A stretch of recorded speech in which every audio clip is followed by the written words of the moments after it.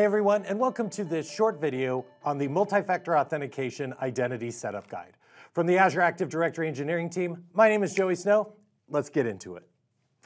So Microsoft's developed a wizard-based series of setup guides in order to help customers get specific scenarios deployed faster, and it's all based on Microsoft Fast Track experience.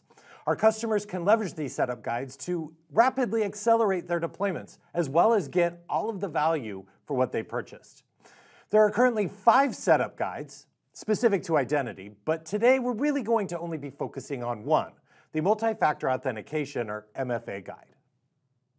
Now, passwords are the weakest link in a security chain, and a single point of failure without any additional verification. That's why we very, very strongly believe that if you only do one thing to help protect yourself, it's to turn on multi-factor authentication. MFA can prevent 99% of identity attacks. Now with conditional access, we support a broad range of authentication options to fit the needs for your business and your users.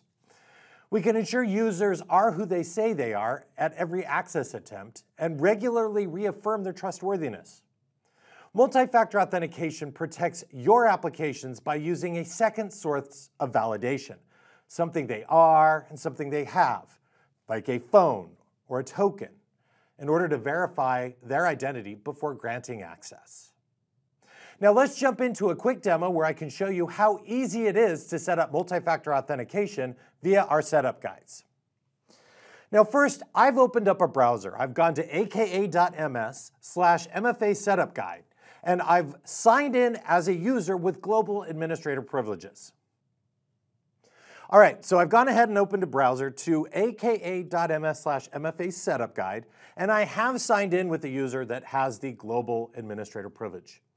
On this screen, what you'll see is a quick explanation about configuring multi-factor authentication, as well as a current status. There are two statuses shown on this screen, and both of them are uh, statuses off. First is conditional access, the second is security defaults.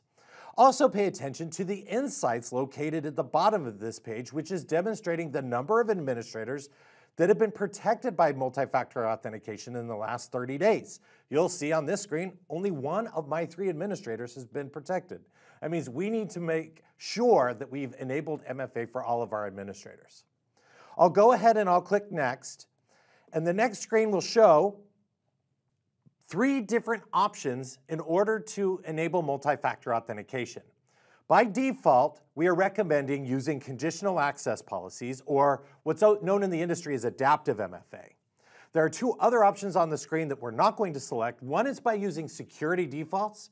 Security defaults is a free version of multi-factor authentication, which really only allows you to uh, use one factor, basically the application, the Authenticator application uh, in order to uh, use multi-factor authentication.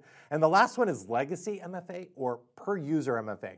Not really the option that we want to choose here. So we're going to go ahead with the adaptive MFA, that first option. We're going to go ahead and click next. Now, this next page is configuring the conditional access policy templates. The MFA setup guide, or the setup wizard here, is based on a new set of policy templates. And right now we're going to leverage those templates to configure multi-factor authentication.